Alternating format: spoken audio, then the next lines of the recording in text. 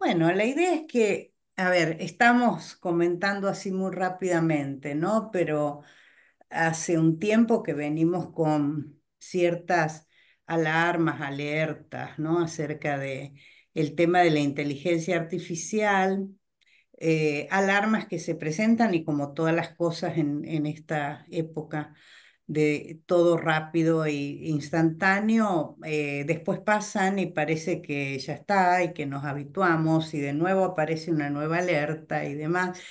Eh, hoy hablamos todos de algo, un futuro terrible donde van a pasar cosas horrorosas con la inteligencia artificial y a la semana siguiente eh, ya está y, y parece que no se habla más del tema, por lo menos en términos generales, ¿no? Y bueno, cuando aparece esto del WhatsApp y tenés la inteligencia artificial metida de prepo eh, ahí sin que nadie te pregunte y vos de que mm, eh, aparece cierta inquietud, alarma, ¿no? Bueno, ¿y qué es esto? ¿Qué va a pasar? Y bueno, entonces ahí un poco surgió el buscar eh, quien pudiera contarnos un poco acerca de cuáles son los riesgos de esto, que nos informe un poco más, que nos aprendamos un poco más sobre el tema. Después veremos eh, de qué manera pensamos nosotros que esto puede afectar o afectaría o qué pasa con eso a nivel de la producción subjetiva, pero en principio, ¿de qué se trata este tema, no? Bueno, hablé con Fernando Peirone, que ustedes todos conocen porque lo hemos invitado muchas veces a, este espacio y Fernando recomendó muy especialmente a Alejandro como un especialista en este tema. Y bueno, em, hoy agradecemos mucho su presencia y la aceptación de esta invitación y, queremos, eh, deseosas de escuchar lo que él nos pueda, los pueda decir sobre esto, ¿no? Eh, les cuento a grandes rasgos, Alejandro Covelo eh, ha sido aviador militar, piloto de línea aérea, eh, licenciado en higiene y seguridad en el trabajo de la Universidad de Morón, especialista en factores humanos y organizacionales en sistemas de alto riesgo, eh, trabaja como asesor de la Junta de Seguridad de la Secretaría de Transporte, instructor en la Asociación de Pilotos de Líneas Aéreas. Eh, se encuentra implementando factores humanos y well operation en industria del gas y petróleo. No, no soy muy buena en inglés, Alejandro, perdón. Eh, es docente en diplomaturas de la Universidad Tecnológica Nacional y en la Universidad Nacional Autónoma de Honduras, instructor internacional de Air Transport Association de la IATA y director académico de la Certificación de Formación Profesional Continua, Gestión de la Seguridad Operacional en el Transporte Ferroviario, provincia de Buenos Aires fundó la Asociación Civil Ateneo, dedicada al estudio de factores humanos y organizacionales en el sector de la aviación. Coordinó y participó como autor de distintos libros sobre investigación de accidentes, sistemas de seguridad operacional, gestión de riesgos en industrias de alto riesgo. Sus últimas publicaciones son Análisis sistémico de la pandemia del coronavirus, un accidente normal en el 2020 con el doctor Marcelo Muro e investigación sistémica de accidentes, modelo para el transporte y la gestión de riesgos en sistemas complejos en el 21. Pertenece al Centro de Estudios Tecnocenolab, Universidad de Buenos Aires, Facultad de las Ciencias Sociales y docente en la Diplomatura Superior de Inteligencia Artificial y Ciencias Sociales Desafíos teóricos y epistemológicos en Claxo, Consejo Latinoamericano de Ciencias Sociales. Eh, bueno, un amplio e interesantísimo currículum y recorrido. Em, gracias de nuevo, Alejandro, y te cedemos la palabra. Bueno, eh, gracias, eh, María. gracias a, a, la Fundación por la invitación, como le decía. Eh, es una oportunidad para probar lo que uno está pensando, ¿no? Eh, para compartir ideas y controversias también, que hay muchas con la inteligencia artificial, y, y toda clase es una oportunidad para seguir estudiando, lo digo desde, ¿no? Desde, mi punto de vista. Así que eh, le agradezco y bueno, este, espero satisfacer las expectativas de, que tienen ustedes eh, y que no se enoje Peirone, ¿no? Que me recomendó. Así que voy a... eh, lo más importante eh, respecto al currículum, yo trabajo en lo que es gestión de riesgos, ¿no? Industrias del petróleo, aeronáutica, del transporte en general, ¿no? Y aparece un sistema nuevo o aparece tecnología nueva y tenemos que afrontar el desafío. Bueno, apareció la inteligencia artificial. Yo voy a compartir eh, brevemente, ah, primero, vamos acá, compartir. Bueno, ustedes me van a decir, eh,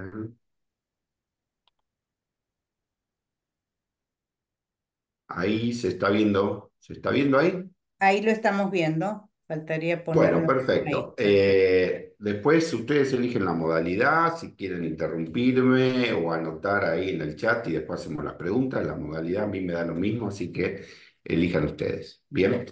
Eh, Vamos anotando en el chat las preguntas, en principio es la sugerencia y cualquier cosa, eh, si vemos que son muchas preguntas o, o que hay necesidad, te, te lo digo, interrumpimos un bien. poquito y vamos a eso. Buenísimo, buenísimo. Eh, básicamente este tema lo estoy trabajando en la, en la UBA, ¿no? En la Facultad de Ciencias Sociales, con un centro de investigación reciente que se llama Tecnoceno Lab. Y ahí les dejo eh, el link. La hoja de ruta, eh, una introducción y una perspectiva analítica desde donde en nuestro equipo, en nuestro equipo yo soy el, el técnico, ¿no? eh, porque todos vienen de las ciencias eh, humanas, ¿no? Eh, que son muy necesarias para el desafío del riesgo. ¿eh? No es un problema de la ingeniería esto, no, no, no, es un problema de las ciencias humanas también, y mucho. Bien, entonces yo soy la, pata técnica de, de, ese grupo. Luego vamos a ir un poquito por filosofía de la técnica y lo que nos preocupa, que es el accidente, ¿no? Nosotros lo llamamos así. Eh, el accidente es lo que tenemos que evitar, y hay accidentes de inteligencia artificial, estudios del caso, una taxonomía de, los principales, de las principales fuentes de riesgo, eh, alineadas a lo que decía eh, María, ¿no? que parece que se va a acabar el mundo con la inteligencia artificial, pero ahí hay unos puntos ¿no? que creo que eh, a la especialidad de ustedes y al área de competencia de ustedes les puede interesar mucho, y los desafíos para enfrentar estos riesgos. Bien, lo primero, así eh, como para puesta en común, yo voy a dar tres definiciones de qué es la inteligencia artificial. Y acá aparece la primera controversia que ustedes habrán escuchado. Bueno, no es inteligencia y no es artificial, porque inteligencia está lo cual cosa y eh, la inteligencia artificial no puede decir tal eh, o no puede eh, tener ¿no? e- este campo de acción y empieza la primer controversia. En esa controversia, bien, nosotros, eh, nosotros como equipo no entramos. ¿Por qué? ¿Y por qué no puede decir, bueno, también existe, ¿no? El horsepower, ¿no? El caballo de potencia. Y yo abro el capó de mi auto y yo no veo caballos. ¿Se entiende, no? Eh, o el sol de noche, no, bueno, no es un sol, sí, ya sabemos. Entonces los humanos concedemos eh, formas o cualidades, cualidades animales o estelares como el sol de noche, animales como el caballo a vapor, bien, eh, o humanas, inteligencia artificial, a una cosa o algún abstracto. Es la forma que tenemos de nombrarla. Acá lo que importa es que es una tecnología que tiene tres dimensiones, es la inteligencia artificial específica, generativa, que tiene mucho más capacidad, ¿no? Y la, última, que digamos que sería el, la gran amenaza, la superinteligencia. Entonces la OCDE, que es la Organización ¿no? de Cooperación y Desarrollo Económico, dice que son sistemas basados en máquinas. Son máquinas que pueden, para un conjunto determinado de objetivos, definidos por el ser humano, porque los define el ser humano, pueden hacer una predicción, pueden hacer recomendaciones, están tomando decisiones que influyen en nuestros entornos, bien reales o virtuales, son, sistemas que están diseñados para funcionar con diversos niveles de autonomía, algunos más y otros menos. La UNESCO dice que son sistemas capaces de procesar datos e información de una manera que se asemeja a un comportamiento inteligente. Abarcan generalmente aspectos de razonamiento, son máquinas que pueden razonar, son máquinas que pueden aprender, ¿no? Famoso machine learning de hecho, se las entrena, como quien entrena un equipo de fútbol, se las entrena estas máquinas, ¿no? Percepción, predicción, planificación y control. Y la última, este es el Centro de Inteligencia Artificial, de Centro de Seguridad de Inteligencia Artificial, bien. Eh, es un centro en el cual nosotros apoyamos mucho porque tiene la perspectiva del riesgo. Dice que son sistemas informáticos que realizan tareas típicamente asociadas con la inteligencia, ¿no? Como resolver problemas, tomar decisiones, bien, y predicción, previsión. Muy bien. Ahora les voy a presentar nuestra perspectiva analítica, bien, de la inteligencia artificial, o sea, de dónde nos paramos nosotros para abordar los problemas de esta tecnología. La primera es que no es solo una tecnología, sino que la inteligencia artificial es una metatecnología. No es como uno podría decir la tecnología nuclear, la aeronáutica, sino que es una metatecnología bien que opera y regula a otras tecnologías. Bien, eh, son tecnologías que producen conocimientos que jamás tendríamos, ¿no? Sin ellas y los producen en otras industrias. Tenemos la automatización de eh, en la logística, en la medicina, en la salud, en la educación, la salud mental también, ¿verdad?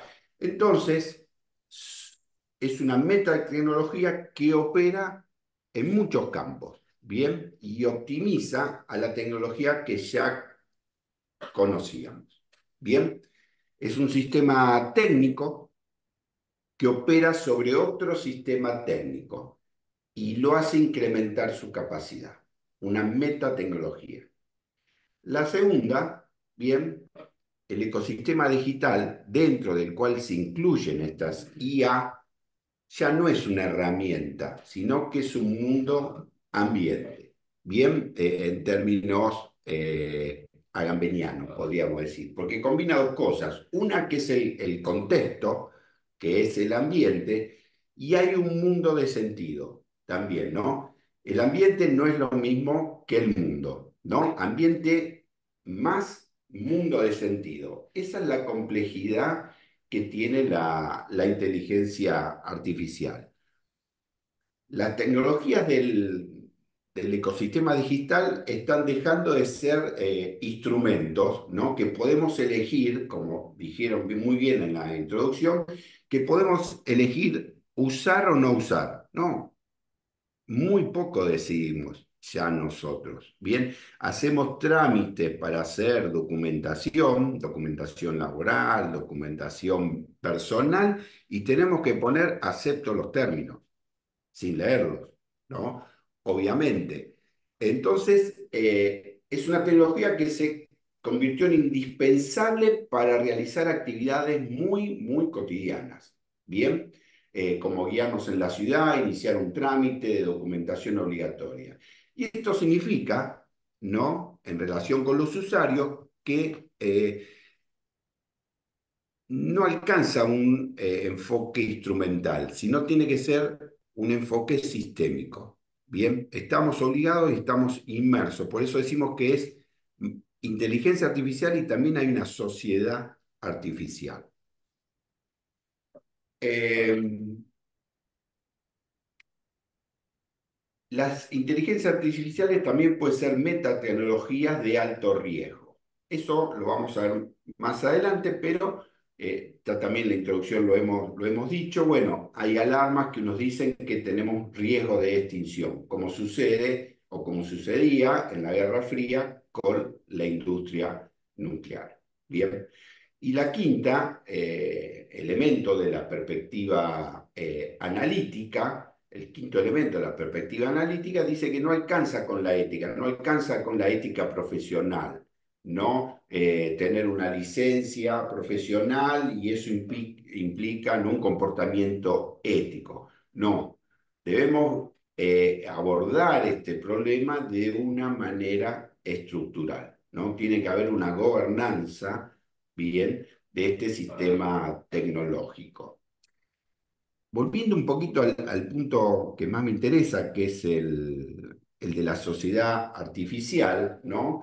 Si nosotros imaginamos ¿no? los tres conjuntos en los cuales, eh, los cuales componen la inteligencia artificial, primero está el hardware, que serían los fierros, ¿no?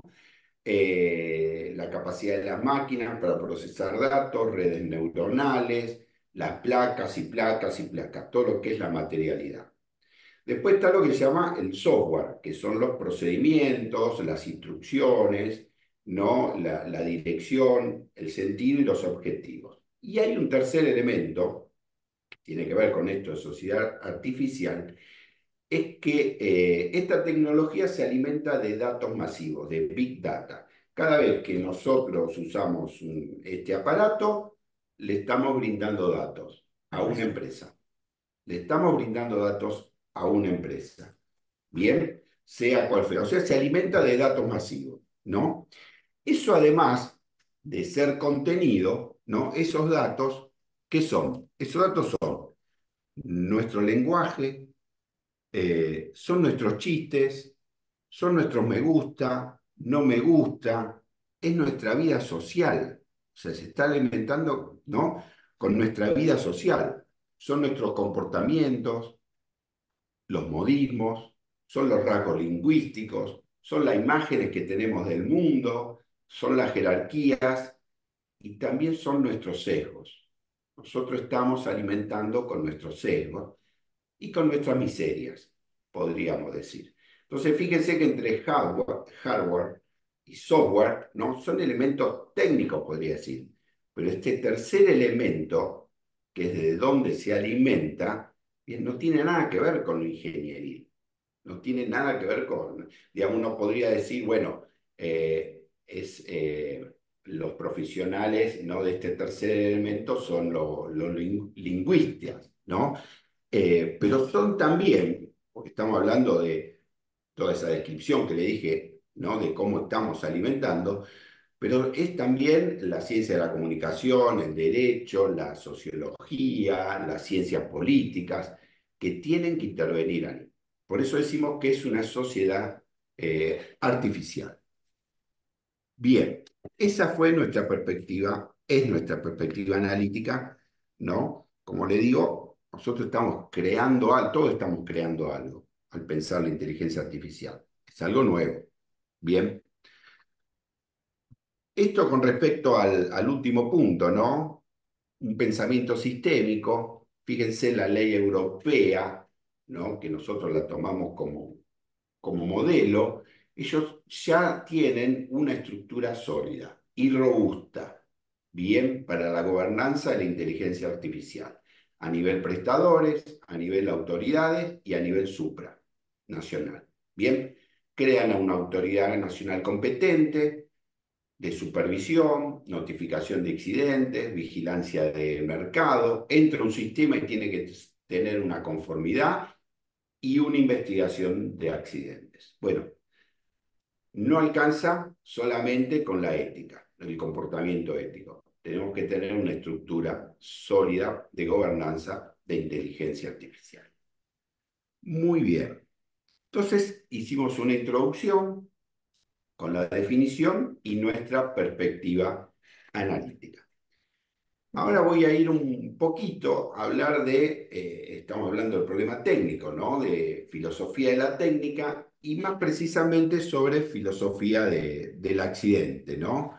Que es lo que estamos trabajando, una filosofía del accidente. Creemos que eh, es un marco que nos sirve para abordar el, desafío de los riesgos de la inteligencia artificial, la pregunta por la técnica, que exige desentrañar ¿no? Eh, las articulaciones ¿no? Eh, en donde se da, en donde eh, opera la técnica, también como la conformación social y política, en cuyo seno se desarrolla la inteligencia artificial. La tecnología no es neutra. La tecnología no es neutra. tampoco es una cuestión moral que la tecnología es buena o mala. Las tecnologías son históricas y responden a las políticas que la producen, ¿no? Y traen incorporados, la tecnología trae incorporados valores y creencias, ¿no? Y ciertos modos de uso que se convierten en modos de vivir. Porque hablábamos, ¿no? Al principio, ciertos modos de uso que se convierten en modos de vivir. Desde el lado de mi especialidad, que es el riesgo, digamos, el desafío es cómo convivir con tecnologías de alto riesgo. Ya hemos pasado el aro de fuego, creo yo, o por lo menos durante un tiempo lo hemos pasado, el aro de fuego de eh, la catombe nuclear. Bueno, ahora hay que pasar este aro de fuego. Bien. Eh, entonces, esos modos de uso se convierten en modos de vivir. Las tecnologías son históricas, están situadas, nacen en un momento determinado y para un uso determinado. Cada tecnología es la materialización de un interés. Cada tecnología es la materialización de un interés. Pensemos, ¿no? ¿Cuál será este? Bueno, son varios los mitos que en nuestra tradición occidental no eh, nos muestran una mezcla de fascinación y de terror con la tecnología. La fascinación, el milagro técnico, el milagro de la ciencia, y el terror es la catástrofe, el accidente, ¿no? Chernobyl, por decirlo de alguna manera. Entonces, eh, en nuestra tradición occidental, ¿no? Aparecen eh, varios mitos. Adán y Eva, la Torre de Babel, eh, La leyenda judía del golem, Frankenstein, Fausto, hasta eh, algunos habrán llevado, algunos no, eh, en su infancia, como yo, habrán visto El aprendiz de brujo de, Disney, ¿no? Aquel joven que aprende a manejar, en su mente a desarrollar energías que después no las va a poder controlar.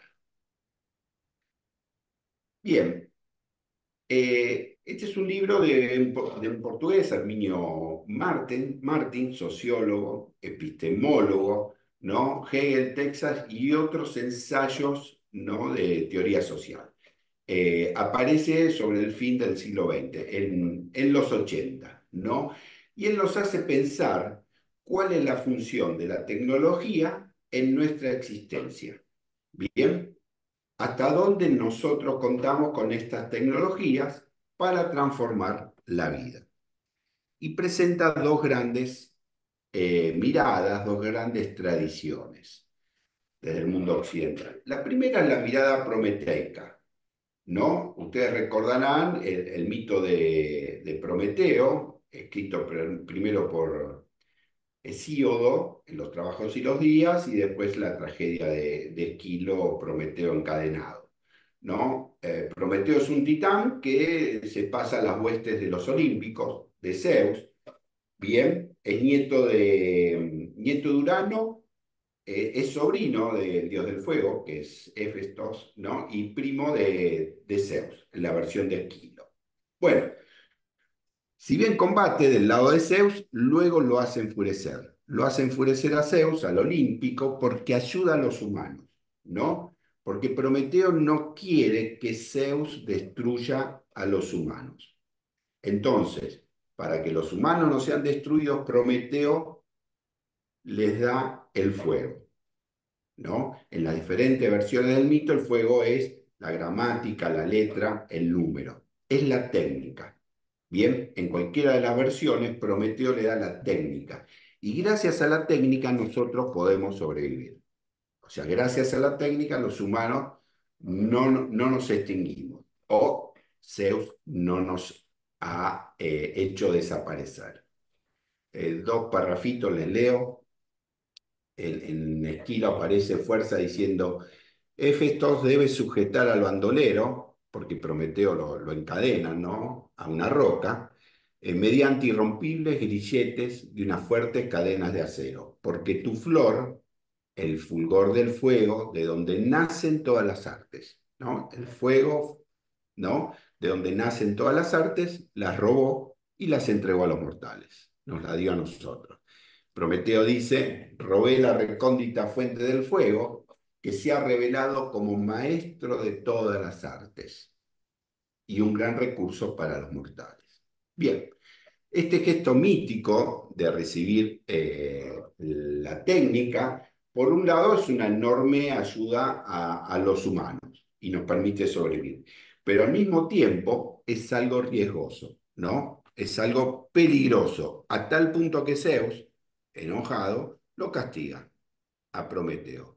Eh, bueno, lo encadena en el Cáucaso y un águila le va comiendo el hígado durante el día, ese hígado se reproduce durante la noche y al otro día vuelve a, a repetirse la tortura. Si bien Prometeo es un dios y es inmortal, no está libre de, sufrimiento, ¿no? Por lo menos en, estas, en esta, eh, estos dioses no están libres de, de dolor. Bien, este mito lo que denuncia o alerta es, ojo, la arrogancia de la humanidad en su intento de usurpar lo que son las prerrogativas divinas, ¿no? Mediante artimañas y saberes terrenales, nosotros podemos mm, pasar ese límite y usurpar algo que es divino. Bien, eh, bueno, la tortura continúa hasta que pasa Hércules por ahí, mata el águila y lo libera a, Prometeo. Eh, el castigo no es para siempre, pero hay algo peligroso en el desencadenamiento de las tecnologías en manos de los humanos. Eh, en esta conclusión, Martins dice que hay una conciencia de los límites que convendría no traspasar. La moraleja es que si bien la técnica nos va a permitir sobrevivir, bien, hay límites que no deben sobrepasarse. ¿no? Conviene no ir más allá del misterio de la creación de la vida. ¿no? Y ahí tenemos la famosa novela Frankenstein, eh, que mereció también el, título de eh, El moderno Prometeo, la obra de Mary ¿no? que fue escrita en el siglo XIX bajo la, influencia de los nuevos descubrimientos y especialmente la electricidad. ¿no? Uno creía que la potencia de la electricidad podría dar vida a, cuerpos muertos. Bien. Eh, entonces, los conocimientos y las técnicas de los hombres no son todopoderosas. Bien. Eh, sus dedos profanos, como dice el doctor Frankenstein, que mis dedos profanos crearon este, este monstruo, ¿no? No pueden mancillar todos los ámbitos porque hay límites que deben ser respetados. La tecnociencia de tradición prometeica se detiene sin pretender superar el umbral de la vida.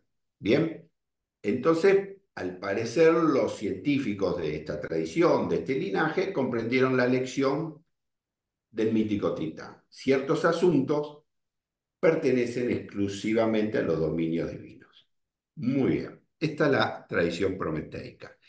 Y por otro lado, tenemos la tradición fáutica.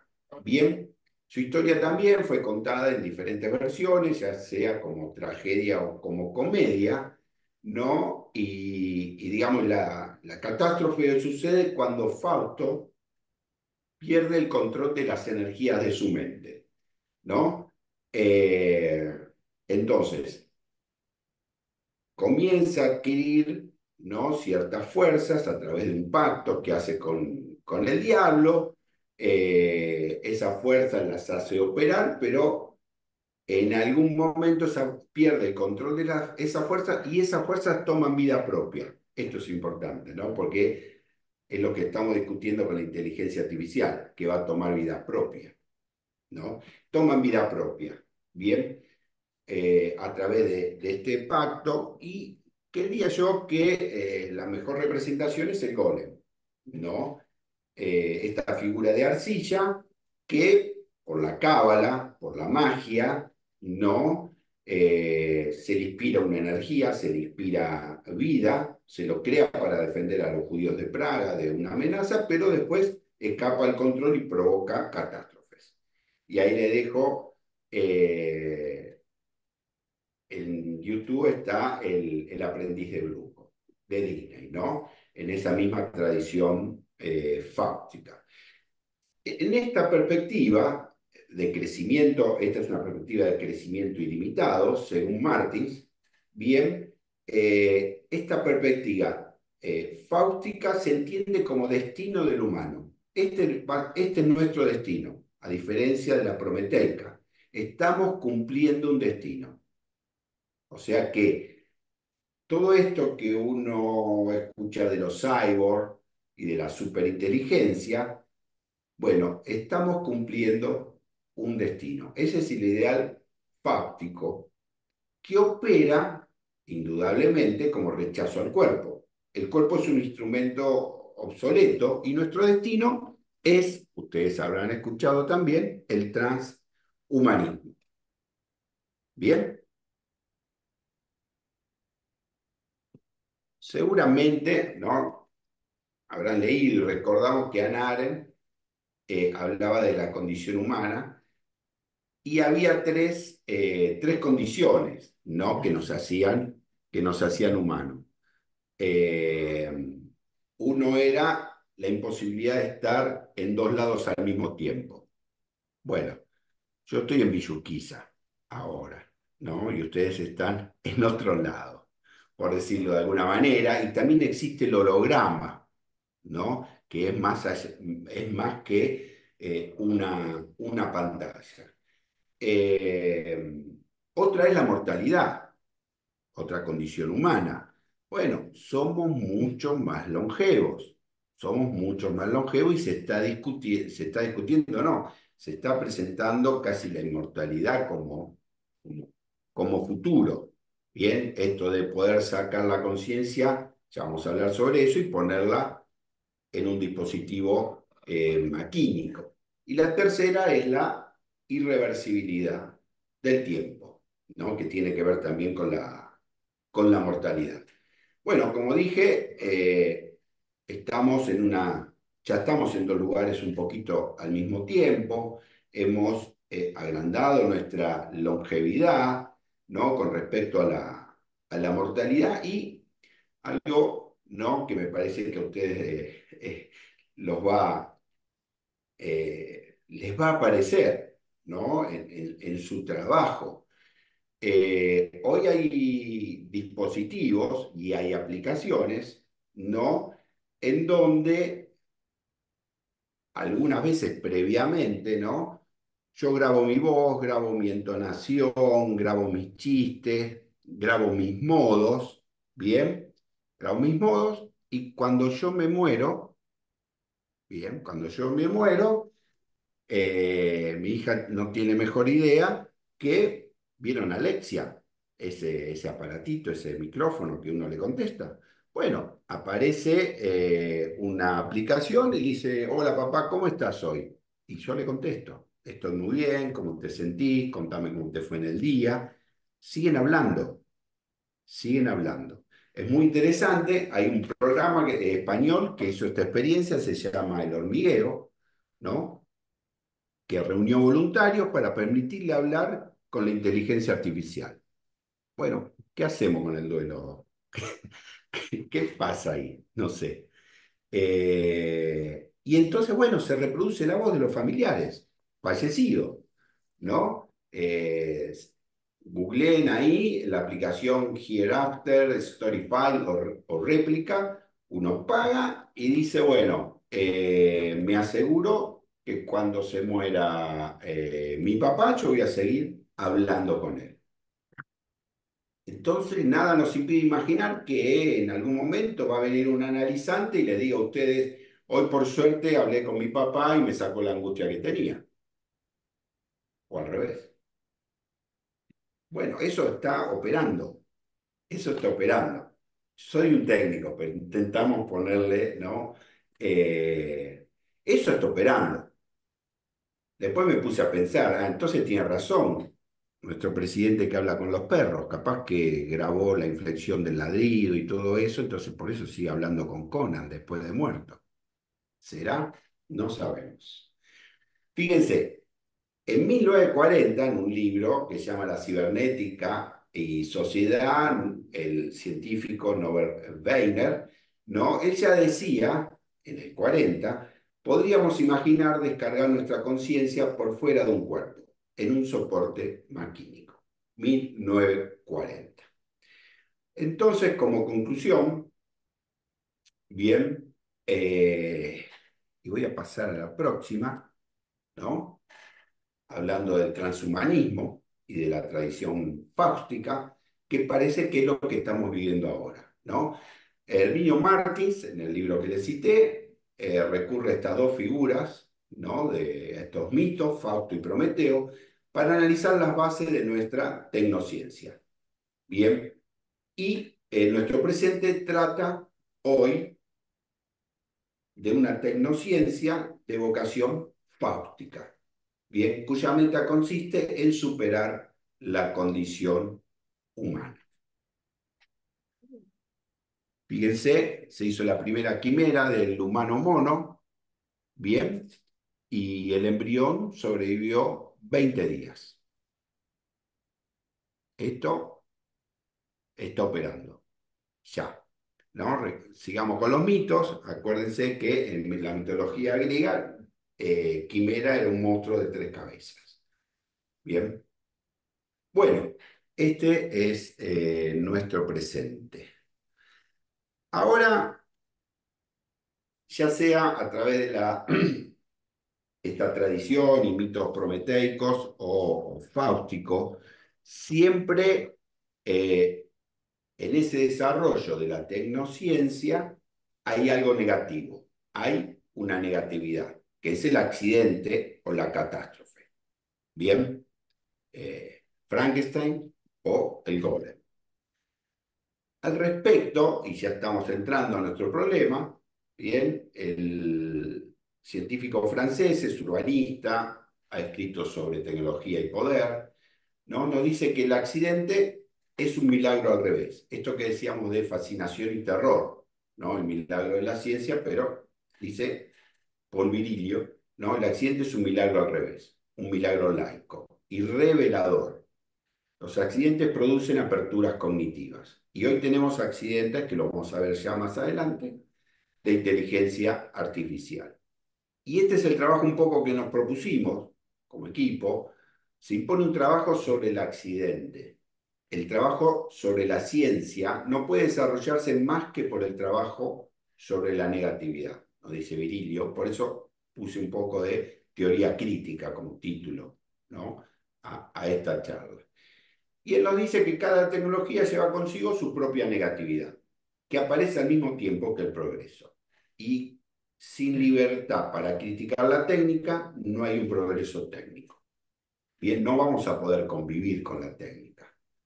Entonces, no progresamos solo por medio de la tecnología, sino también reconociendo su negatividad, que es el accidente específico.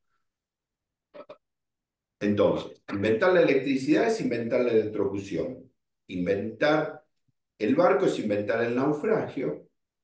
Inventar la recombinación de ADN y ganancia de función de un virus letal es quizás inventar una pandemia desconocida. Y acá viene la pregunta, ¿cuál es el accidente específico y la negatividad de este nuevo sistema, perdón, que es la inteligencia artificial?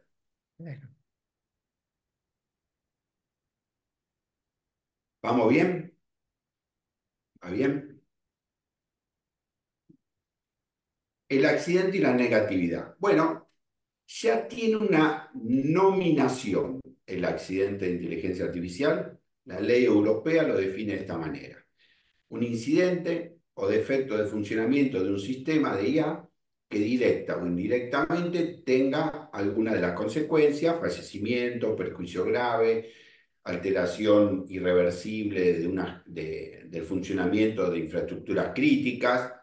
La salud es una infraestructura crítica, la energía es una infraestructura crítica, el transporte, bien.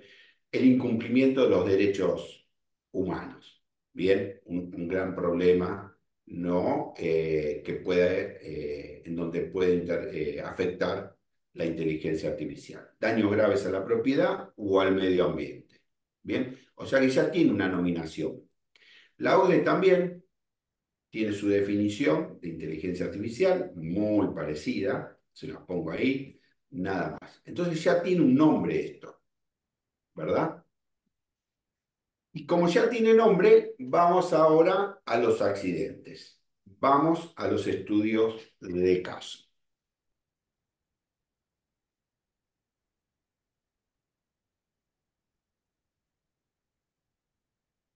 1921. Este es el primer ministro de Países Bajos, Mark Rutte, ¿no? tras el encuentro con el rey de Países Bajos y posterior renuncia de él como primer ministro y de todo su gabinete. ¿Qué había pasado? Bueno, le pusimos como título, se le puso como título máquina xenófoba. Bien.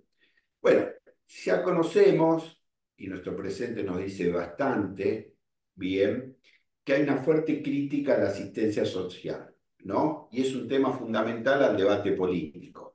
¿Por qué le vamos a dar de comer a, tal? ¿Por qué le vamos a dar los remedios a cuál?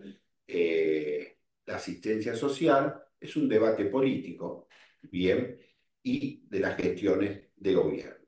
En este contexto, diversos países comenzaron a utilizar sistemas y soluciones de inteligencia artificial. Uno de ellos fue eh, Países Bajos. Bien, en el 2013 contrató un sistema de inteligencia artificial, cuyo fin era la detección de los fraudes, fraudes, ¿no? Porque la crítica a la asistencia social es que yo le doy la leche y después la leche aparece en el chino y la venden en el chino. ¿no?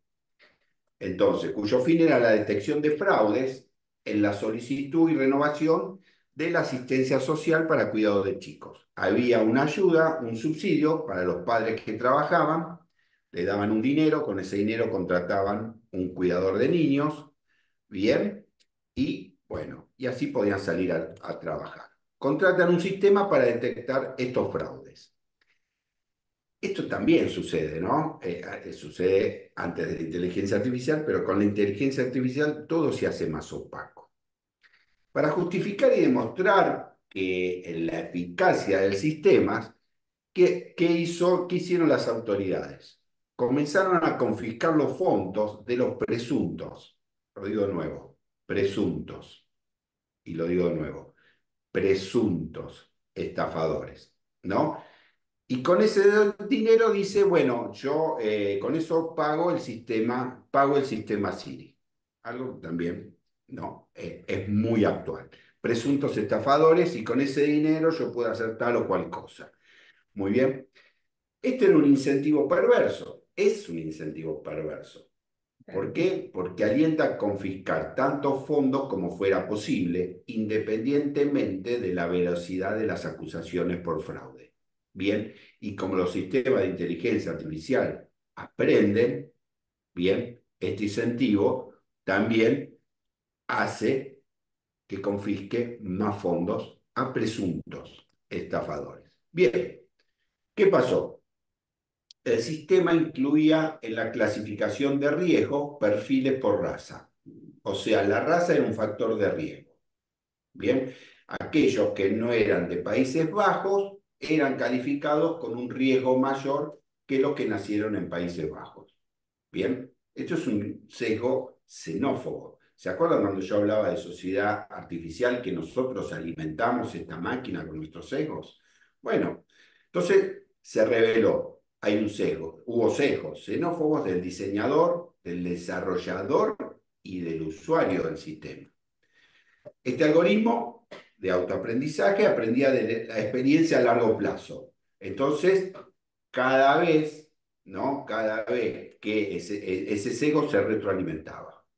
Bien, y no tenía control de autoridades fiscales, o sea, no tenía un control humano, no había una supervisión humana. Y el sistema era tan opaco que obstruía todo lo que puede ser rendición de cuenta y transparencia. Hubo un montón de reclamos a los cuales eh, el gobierno de Países Bajos no le daba ninguna respuesta. Aquel que le quitaban el subsidio quería saber por qué era. Bueno, no obtenía la respuesta aquel que le quitaban los alimentos, bueno, ¿por qué me los quitan? No, no, hay respuesta. Bien. Bueno, esto llevó a las víctimas del sistema a encontrarse sin recursos disponibles, entonces el padre perdía el trabajo porque tenía que cuidar al chico, el que trabajaba de cuidador perdía el trabajo. Bien, fueron discriminados con un modelo de clasificación de riesgo totalmente xenófobo las autoridades tributarias holandesas no realizaron previo, cuando se pone un avión en vuelo le hacen vuelo de prueba, ¿verdad? Y después de cierto vuelo de prueba dice, bueno, puede llevar 200 pasajeros, ahora sí. Bueno, ponen, se están poniendo hoy estos sistemas en marcha sin ninguna gestión de riesgo, sin tener en cuenta el impacto social o en los derechos humanos. Las consecuencias 10.000 personas sin subsidio ni posibilidad de reclamo. Bien, pensemos en los accidentes industriales, ¿no? Eh, bueno, o accidentes, como puede ser, puede, ser para nosotros eh, Romañón, ¿no? Más, casi más de 150 víctimas eh, y, víctimas, y heridos, ¿no? Lo cual, eh, lo cual representa un número importante. Pero acá estamos hablando de 10.000 víctimas, que son familias. Si las multiplico por 4 son 40.000. Miren el poder que tienen ¿no? estos sistemas. Y estos sistemas están operando en los gobiernos. Están operando. Bueno, escándalo total. Renunció el primer ministro con todo su gabinete. Argentina. Salta, ¿no? Y ahí le dejo el, el video. ¿No? El gobernador de Salta, Urtubey, eh, en este programa, el diario de, Mariana, creo que se llama así, no describe que han contratado un sistema de inteligencia artificial capaz de predecir embarazos de adolescentes, ¿no? Embarazos precoces de adolescentes. O sea, pueden predecir que una chica de 9 años a los 14 va a quedar embarazada. Y esto operó en nuestro país. Bien. Eh, otro escándalo. Va, no fue un escándalo porque no se conoce, creo, ¿no? Este caso. Pero integrantes del laboratorio de inteligencia artificial de la UBA identificaron graves errores técnicos. Y era un, y era un sistema operado por Microsoft. Entonces ya van a ver la grosería del sistema, ¿no? Y uno puede decir, Microsoft no tenía en cuenta todas estas cosas. Bueno, vuelvo a decir, la tecnología no responde a las políticas que la producen. No es neutra. Bien, y están creadas por intereses. Bueno, como si fuera poco, eh, este sistema de detección precoz de embarazo se lo dieron a la Fundación CONIN. No sé si la conocen, la Fundación CONIN y al famoso y benemérito doctor Albino, aquel que dice que nos sirve el profiláctico para eh, evitar el SIDA porque, el eh, porque los espermas atraviesan la porcelana. Bueno, es el mismo que hoy reparte los alimentos en el 2024. Y vuelvo a hablar que las tecnologías responden a las políticas que la producen. ¿Qué pasó con este sistema? Este sistema construyó reglas estadísticas para intentar determinar si un adolescente tendría un embarazo a futuro. Estos son accidentes que suceden y no se investigan hoy. Ese es el problema. Cuando hay un accidente grave de tránsito, eh, un micro de doble piso en la ruta 2, bueno, hay una Junta de Seguridad de Transporte que investiga, elabora recomendaciones para evitarlo. Bueno, hoy no se investigan en este país los accidentes de inteligencia artificial como este. Entonces, eh, construyó reglas estadísticas para determinar si un adolescente iba a tener un embarazo en el futuro, ¿no? Basándose en datos conocidos, en datos de entrenamiento. ¿Qué quiere decir esto? Eh, lo pusieron a echar a andar y le hicieron, ¿no? Los vuelos de prueba, por decir algo, ¿no? Eh, con datos de entrenamiento. Y cuando lo echaron a andar, ¿no?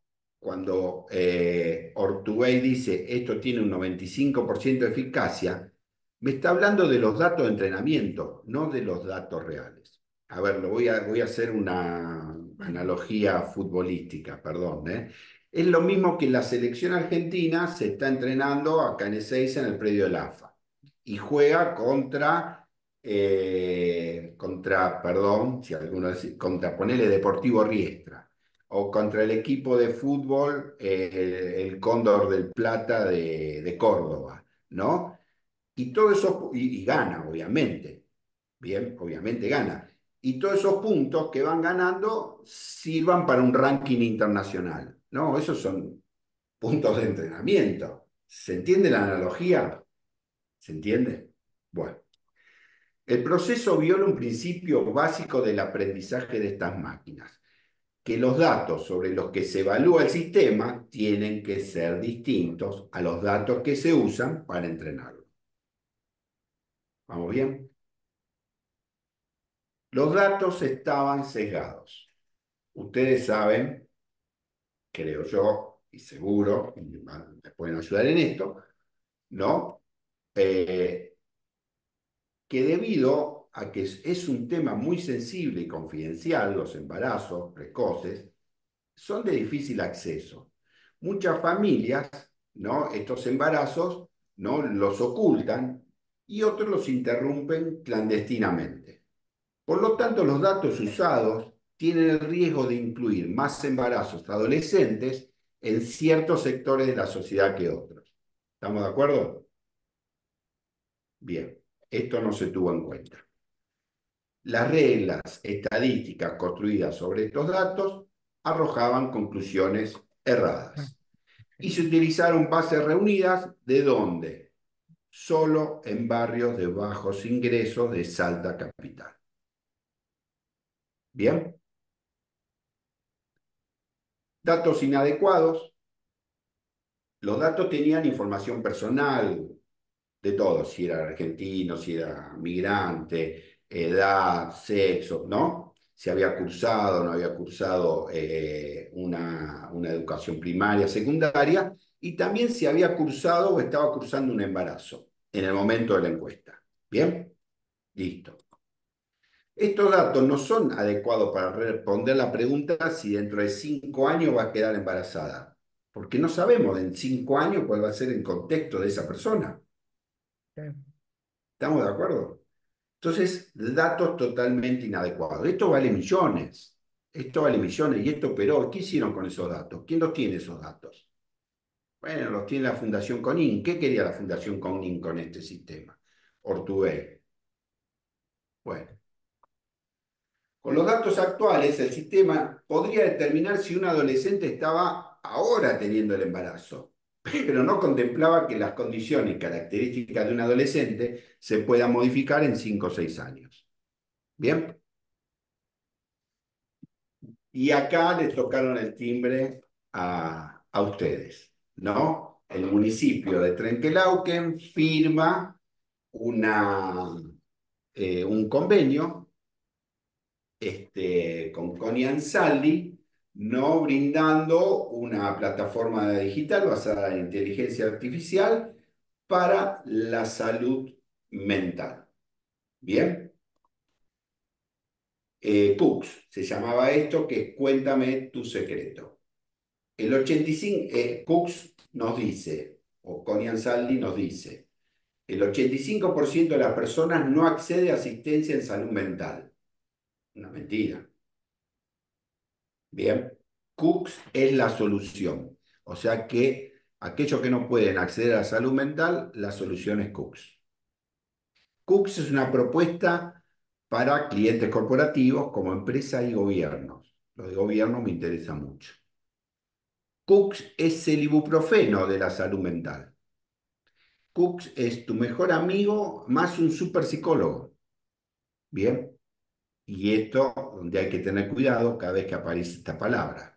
El objetivo de Cooks es democratizar el acceso a la salud emocional en países de habla hispana. Bueno, este Cook es nada más que un chatbot. Es como el chatbot que vive en Cava y quiere tirar los residuos, que dice, hola, ¿cómo te llamas? Sí, quiero tirar los residuos.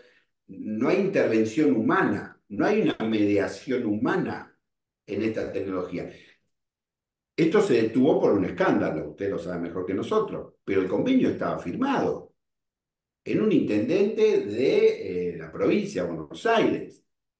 Bien, o sea, acá, adentro, tenemos adentro. Eh, esto es más de lo mismo, de lo de Holanda, lo de Salta y esto, ¿no? Eh, fíjense que cuando se desató el escándalo, uno de esos hackers especialistas empezó a actuar con el chatbot y lo empezó a forzar, porque eso se hace también. Y el chatbot le terminó recetando clorazepam. O sea que recetaba. Cooks recetaba. Bien. Eh, actualmente esto, cuando uno se va de viaje, eh, te lo meten ¿no? en los seguros de, de, seguros de viaje, ¿no? de salud, eh, como salud mental. Bien. Ahora, esto tampoco sucede solamente en Argentina. Fíjense, accidente de inteligencia artificial el público aún desconfía de los chatbots de inteligencia artificial en la atención médica. Bueno, ustedes, digamos, la especialidad, el oficio, la, ciencia de ustedes, bueno, eh, a alguno le va a llegar en su lugar de trabajo, ya sea privado o estatal, mira, hemos comprado un sistema de inteligencia artificial para aliviar el trabajo. Bueno, acá acá donde interviene la alfabetización en materia de inteligencia artificial. Esto tiene que ser probado, tiene que ser controlado, tiene que tener intervención humana. Les va a llegar esto a ustedes. Eh, seguimos. No le pidamos a la inteligencia artificial que tome decisiones de vida o muerte. El año pasado un hombre belga se quitó la vida trágicamente después de que un chatbot supuestamente lo convenciera de hacerlo. En los Países Bajos hay un debate en curso sobre si se debe permitir el uso de inteligencia artificial en la salud mental. La inteligencia artificial puede producir sesgo de género y etnia en herramientas de salud mental. O sea, ustedes tienen accidentes de inteligencia artificial en salud mental necesitamos que haya especialistas en riesgos, bien, y esa es nuestra tarea, es la mía, ¿no? Del campo de la salud mental. Porque van a aparecer, ya no tenemos ministerio, pero van a aparecer en la Secretaría de Salud estos, estos sistemas. Van a aparecer. La inteligencia artificial para la detección de la salud mental puede tener sesgos basados en el género y la raza. Tenemos que saber cómo eh, controlar los sesgos, identificar los sesgos de estos sistemas. Tiene que haber supervisión humana. Y todo esto, ahora lo voy a decir, ¿no? A nivel nacional, ¿no? Ustedes lo que vieron con eh, Trenquelauquen, con Salta y otros casos más, ¿no? Que no tenemos tiempo de contarlos y otros que desconocemos, en nuestro territorio nos, suceden con esta, vulnerabilidad. La revista Science, que no voy a hablar ¿no? de la categoría de la revista, colocó a la Argentina en la lista de países que expulsan científicos. Se nos va a hacer muy difícil, sin científicos, gestionar los riesgos de esta tecnología.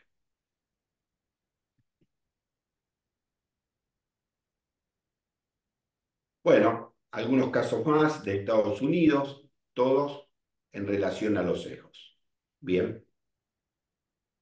La pregunta es si esos sesgos son eh, no voluntarios o voluntarios.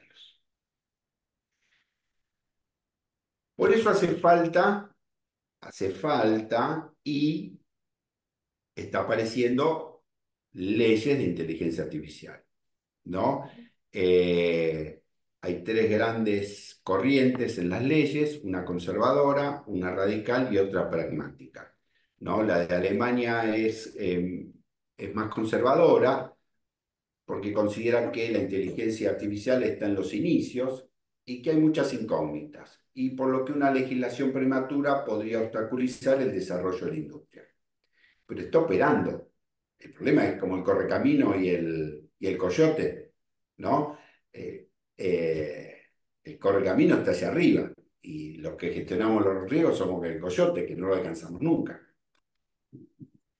Después está Europa, no, eh, que se dice que son más radicales. Nosotros, yo comparto la ley europea y aboga por el establecimiento temprano de normas similares, unas normas similares al marco de industrias ultraseguras vamos a ponerle unas normas similares como la nuclear a la inteligencia artificial, o como la aeronáutica, o como otras, ¿no? que se convirtieron en industrias ultraseguras. Y después está, esto es un método proactivo, y después está Estados Unidos, que lo que le importa es ser líder de inteligencia artificial, no considera la obligación de tener gestión de riesgo, eso es voluntario, y cualquier problema se dirime en la justicia. O sea que es un método totalmente reactivo. Bueno, en algún momento saldrá la ley de inteligencia artificial de nuestro país, Argentina. Bien, ese es un debate también a dar, que debemos participar todos. Eh, en Europa, que es la que compartimos, te dicen, mire, estas prácticas son prohibidas. Manipulación, clasificación social. Esto es de alto riesgo, educación, salud, es de alto riesgo. Entonces, si vamos a meter en salud un sistema de inteligencia artificial, tiene que tener evaluación de conformidad, que la van a hacer ustedes. Junto con otros técnicos. Y tiene que tener un sistema de gestión de riesgo demostrado. Otras son riesgo eh, limitado, obligación de transparencia, lo que hablamos con Cooks, ¿no? Y ahí está la alfabetización en materia de inteligencia artificial en todas las escalas, porque el ciudadano debe saber que está operando con un chatbot que le metieron millón y medio de palabras. No hay una mediación humana ahí. ¿Bien? Y después riesgo mínimo, sin obligación, ¿no? Como autorregulación. Yo se los dejo esto, que son las prácticas prohibidas de la ley europea técnicas subliminales, vulnerar a personas por la discapacidad, explotar una vulnerabilidad de unas personas derivada de su edad o su, discapacidad. Bien. Tuvimos una, un debate, ¿no? Porque esto es nuevo. Y yo preguntaba, bueno, ¿y si yo pongo eh, a un gobernador de nuestro país con la cara de síndrome de Down? ¿Estoy vulnerando a, a un colectivo por su discapacidad. Evaluar o clasificar a las personas, puntuación ciudadana, evaluar los riesgos de los que van a cometer un delito, bien, crear base de datos, reconocimiento facial, eh, inferir emociones, deducir que por tal o cual cosa esté de esta raza, ¿no? Identificarlo por raza. Identificación biométrica en tiempo real. Voy rápido. Y dice, mire, estos son sistemas de alto riesgo. La biometría, los que operan en infraestructuras críticas, una infraestructura crítica en la salud, en la educación, es un sistema crítico, bien, eh, en el trabajo, eh, servicios privados y esenciales, en los derechos humanos, migración, asilo, administración de justicia. Bien. sepan nada más, se los dejo acá, que hay un monitor de accidentes o incidentes de inteligencia artificial de la OCDE. Este es el link. Permiso, ¿eh? Se lo voy a dar en un pantallazo acá. Esto está acá. ¿Lo ven ahí? Fíjense, eh, puede ser por rango de fecha. Eh, Segundo, que tengo que correr esto porque si no, no. Eh, acá está. Esto. Perdón, ¿eh?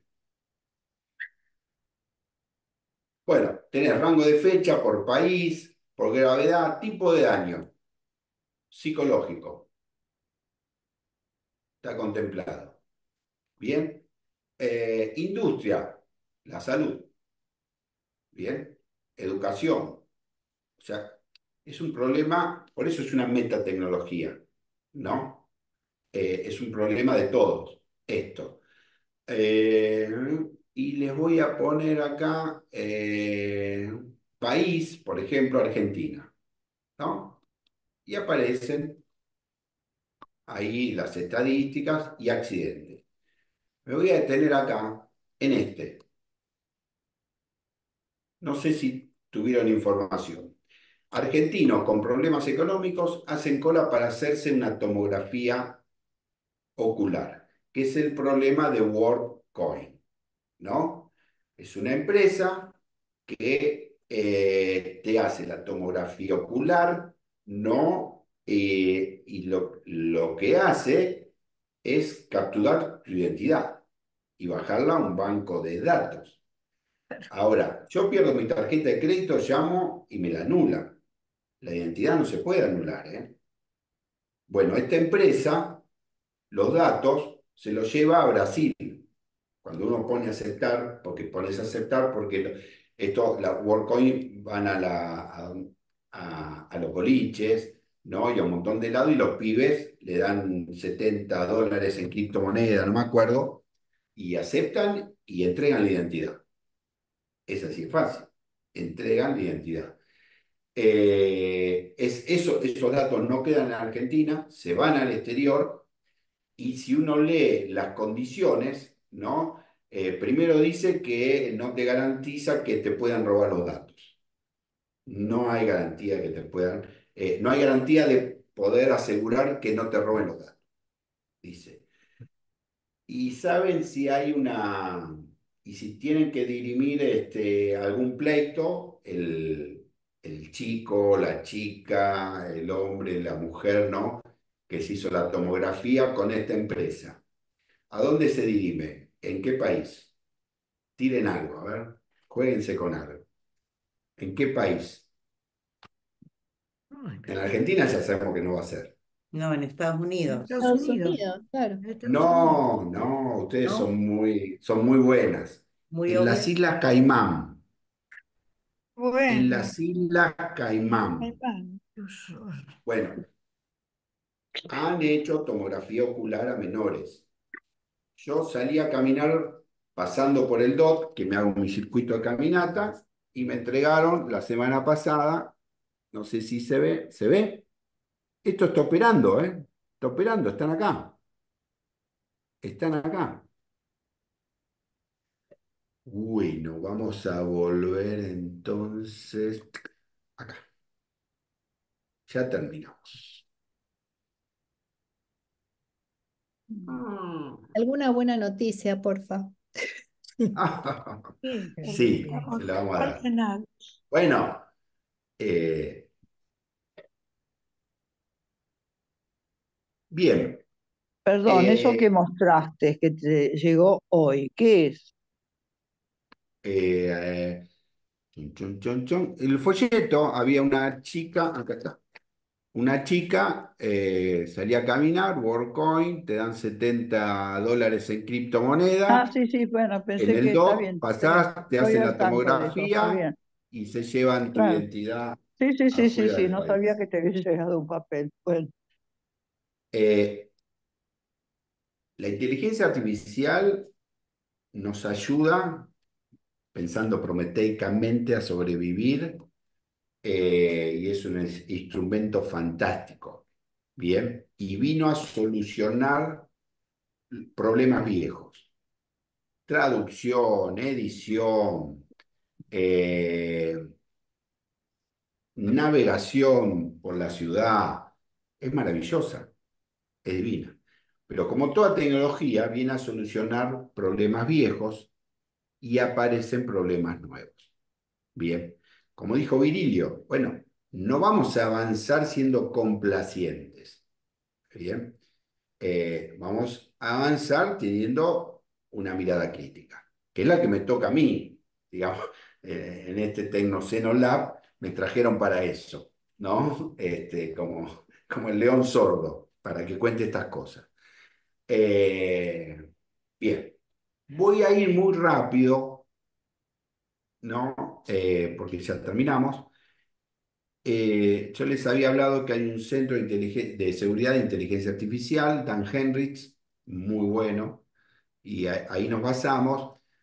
Y está el problema este de la, del peligro de, extinción en mirada prometeica sería un peligro de extinción, en mirada fáustica sería nuestro destino. Bien. Y nos dice que hay eh, cuatro factores de riesgo que ponen en peligro, eh, bueno, al hombre, a la mujer, eh, a la humanidad, tal cual la conocemos. Bien, tal cual la conocemos, que es el uso malicioso, o sea que hay una intención de hacer un daño, Bien, eh, la carrera por la inteligencia artificial, muchas veces las carreras ¿no? industriales llevan a, accidentes. Los accidentes industriales, que son los riesgos organizacionales, que son accidentes que nosotros conocemos, grandes eh, accidentes en el transporte, en la industria química, y la y inteligencia artificial rebelde. Eso sería lo nuevo, que es una inteligencia artificial que no podemos dominar, que toma vida propia por decirlo de alguna manera.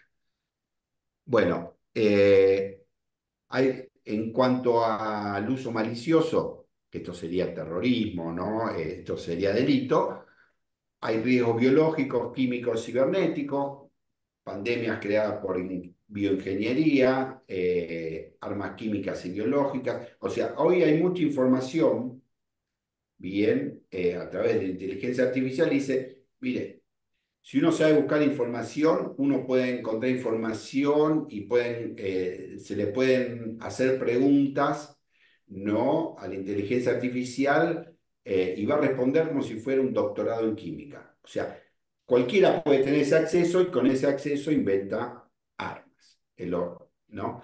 Esto me parece que eh, es más importante ¿no? en el ámbito en el cual estamos ahora hablando, que eh, son las inteligencias artificiales persuasivas, que es la contaminación del ecosistema de información, ya conocen bastante, explotar la confianza del usuario, como puede ser lo de Cooks, bien, concentración, vigilancia y bloqueo de valores, porque son cuatro empresas, cinco, y pueden bloquear valores, valores humanos, ¿no? O sea, pueden bloquear valores y, bueno, y, no, y, y como humanidad empezamos a no acceder, a no a conversar sobre ciertos valores que, bueno, que hace 20 años eran importantes.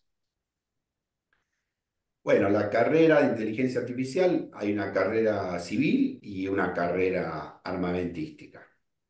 Bien, y hoy, por un lado, hay armas, ¿no?, que toman decisiones, ¿no? La guerra automatizada.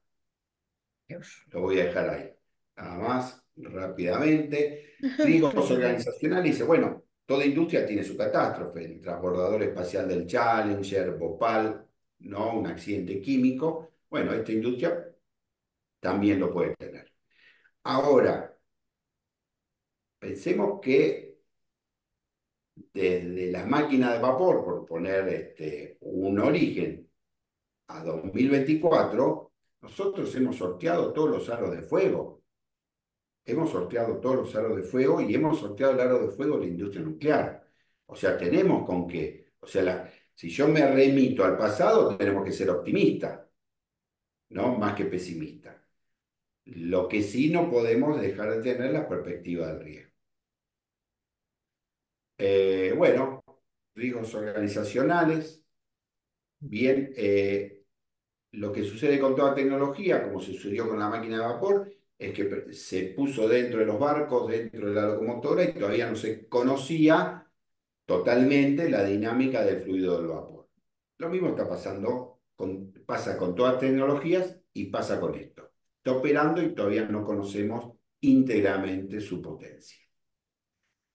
Y las rebeldes, ¿no? Que puede ser que son, eh, que es la pérdida de control, ¿no? Y que la inteligencia artificial opere por sí sola. Bien, a ver cómo estamos acá. Ya estamos. Bueno, desafío. Son dos diapositivas y termino. ¿no? Eh, Nancy Levinson, desde el MIT, nosotros la tenemos de referencia, dice que se imparten pocas clases sobre ingeniería de seguridad. Y lo habla desde el lado de la ingeniería, no habla del lado de las ciencias humanas. Muchos académicos saben poco o nada. Bien, la seguridad sistémica, que es lo que nosotros estamos promoviendo, no requiere un conjunto de saberes y disciplinas, como lo vimos en esta charla, más allá de la ingeniería y de la ciencia de la seguridad. Necesitamos las ciencias sociales, a la ciencia del gerenciamiento. Bien, es una perspectiva sistémica. Tenemos que incorporar a este problema la dimensión social, factores sociales y factores políticos. Por eso la alfabetización en materia de inteligencia artificial es fundamental. Se define como conocimientos y habilidades para comprender, evaluar y utilizar e interactuar con la inteligencia artificial en todos los niveles, como usuario de este teléfono o si pertenezco a una secretaría de gobierno. Y la ley europea la tiene adentro, ¿no? La tiene, la alfabetización la contempla adentro de sus normas, que hay les dejo. Este es nuestro link. Eh, ahí pueden ver un curso de seguridad que estamos traduciendo, eh, seguridad sistémica, de investigación de accidentes. Y bueno, nuevamente, muchas gracias. Perdonen que creo que me habré pasado unos 10 minutos. Excelente. Gracias. Alejandro. Sí, muchas gracias, Alejandro. Excelente, interesante. claro. Interesantísimo. Sí, gracias por comenzar nuestra alfabetización en el tema por lo menos la mía, tal vez no la de muchos. Eh, bueno, a ver, hay algunas preguntas en el chat, eh, algunos comentarios. Eh, alguien dice, yo quisiera saber cómo retirar el circulito azul del WhatsApp. Ah, me mataste ahí. ahí se lo tengo que preguntar a mis hijos, ¿viste? A los millennials, ¿no? Ahí me mataste. Mm. Y otra persona dice, si bien la tecnología es avance, necesitamos entonces crear una ética del manejo de la inteligencia artificial. Sí, sí, sí, totalmente. Por eso el, curso se llama eh, Inteligencia Artificial, Seguridad, Ética y Sociedad, se llama. Mm, ¿no? Eh, una ética, totalmente. Tengo otra pregunta. Sí. Sí. A ver, este, es bueno, para los que somos analógicos, lo digital definitivamente nos, nos ha traído grandes problemas. Y una de las cosas que a mí me parece injusto aún, no sé, a las nuevas generaciones, es que, por ejemplo, todo, todo lo que tengas que comprar, todo lo que tengas que adquirir, tiene que necesariamente meter tus datos, tener una aplicación, bajar la aplicación, y entonces desaparece el lado humano. ¿No? Sobre todo en, los servicios, por ejemplo, de teléfono o de cable, de internet, marque uno, marque dos, marque veinte, marque cinco y tú ya estás ya, y no hay, y se pierde realmente esa sensibilidad humana de, oye, estoy ahí detrás de, detrás de todo esto para ayudarte, ¿no? Son muy pocas las empresas que, bueno, todavía consideran este híbrido de tener una persona y tener la maquinaria.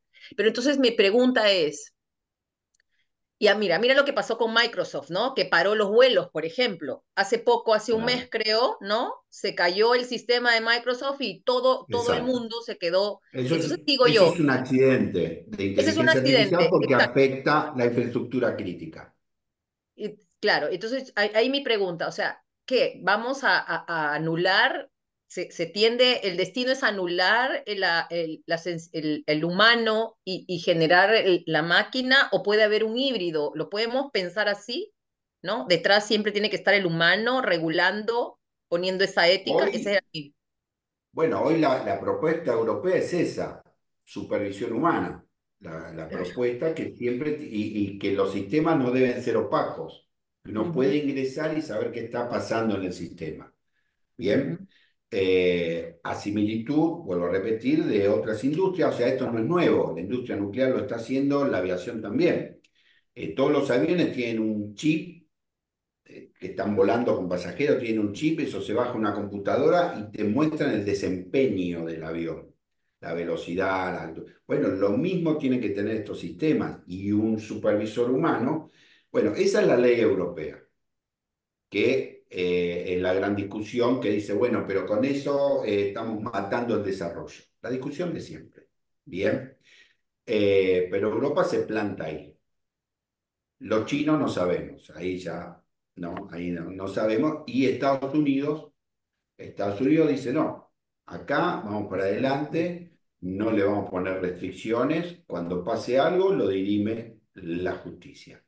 ¿no? Esas son las dos grandes posturas vuelvo a repetir, nosotros en algún momento vamos a tener, o se va a escribir una ley, eh, quizás ustedes habrán escuchado cuál es el proyecto de esta administración sobre la inteligencia artificial, y bueno, ahí está el debate, ¿no? Ahí está, ahí está el debate y la alfabetización. Eh, nuestra postura es muy similar a, a la europea. Europea. A, la europea. Eh, y bueno, y vuelvo a repetir, gracias a ese modelo hemos sorteado un montón de aros de fuego. Bien, hemos sorteado un montón de aros de fuego.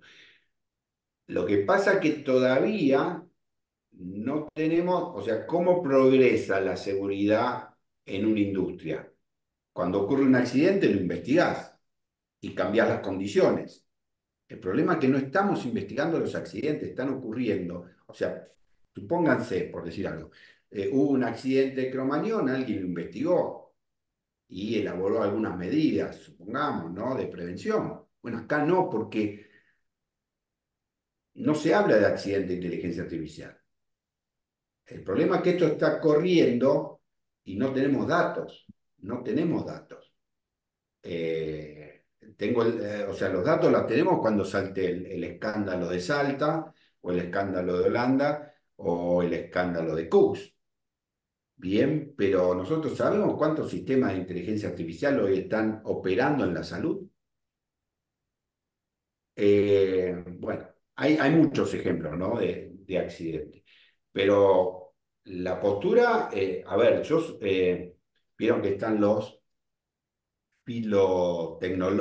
lo- o los fóbicos. A mí, yo me considero eh, filotecnológico, ¿no? Yo quiero tecnología y protección. Porque es la que, digamos, tengo esa mirada que, que nos ayuda un montón. De ninguna manera eh, sirve la prohibición de, nada, de nada. Eh, y la discusión del riesgo en la inteligencia artificial no la están dando, ¿viste? No, no se está dando. Ujú. Y hay que crear comunidades, ¿viste? También, ¿no? Cuando hablabas del chat, de que siempre son todas máquinas. Bueno, a partir de la, entre el shock de virtualización de la pandemia y la instalación de estos sistemas, y yo creo que tenemos que, bueno, pensar en crear com- comunidades, ¿no? Eh, socializar, socializar, ese es un desafío que, que tenemos, me parece que es importante para la salud mental, la palabra comunidad. Así es, muy, muy importante todo lo que trajiste. Sí. ¿Alguna ¿Puedo otra hacer una pregunta? pregunta? Sí, Sí. eh, una pregunta, Alejandro. Lo que cuando vos describiste las características, eh, eso entendí yo de la UNESCO, eh, que las máquinas pueden razonar, aprender y percibir. Eh, ahí me llama mucho la atención a qué le llam- a qué le llaman Percibir. Entiendo que ustedes no, no, no, no pusieron percibir en las condiciones de la máquina, pero sí la UNESCO. Eh, y, por ejemplo, las máquinas se entrenan, ¿no? ¿Vieron cuando eh, nosotros ah, nos metemos en una aplicación y dice identifique los, los semáforos, identifique y uno tiene que... Bueno, las máquinas se entrenan de esa manera. Hay un montón de gente que le pagan para mostrarle a la máquina, esto es un caballo, esto es un caballo, esto es un caballo, de atrás, de adelante, de arriba. Y entonces, una máquina, digo, bueno, yo necesito una máquina que perciba caballos para contar los caballos que ah. pasan por tal lado. Y ahí tú un caballo, hay una percepción ahí, ¿no? Eh, de eso trata.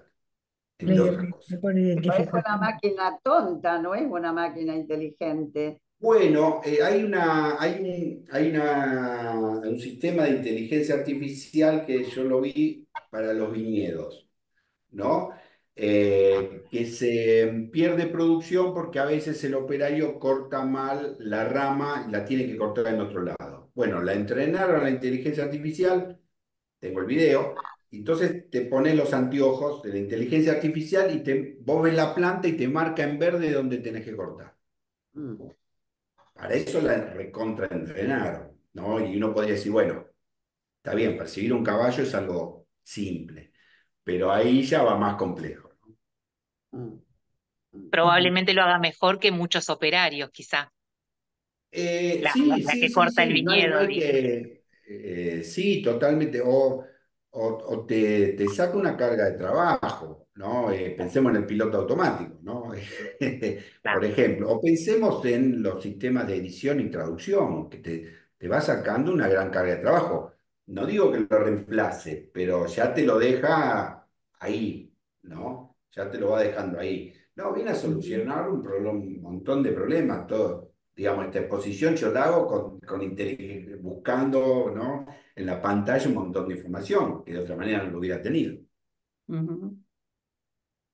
Sí, yo tengo una relación con mi bot de inteligencia artificial del WhatsApp bastante intensa y eh, me divierte a veces cuando tengo tiempo preguntarle cosas insólitas y conversamos y me contesta. Y, y percibe hasta mis estados de ánimo en lo que digo. Bueno, ahí está la percepción. Entonces me dice que estoy enojada con tal cosa o tal otra, o que tenga cuidado con. Eh, realmente es interesantísimo explorar ese mundo, peligrosísimo a la vez, pero digo, yo juego con esa intención también de saber o de tratar de entender hasta dónde llega esto y la verdad que es sumamente interesante y aterrador ambas cosas, ese, ese límite todo el tiempo. Está bien el experimento, no, ese, chatbot. Ahí, va, ahí va Blanca. La pregunta de Blanca. Sí, un minuto, termina de decir Alejandro lo que quiere decir. No, digo que eh, el chatbot ese, eh, pensemos ¿no? en el ideal, seguramente que lo diseñó le habrá puesto unos límites en la conversación. ¿No? Que no te va a recetar clorazepam, digamos, por decirlo de alguna manera. Y bueno, y sirve, sí, sirve en un registro y en una escala. Blanca, última pregunta y cerramos por cuestión de tiempo. Eh, sí, no es un, una pregunta, es un comentario agregando lo que decía María.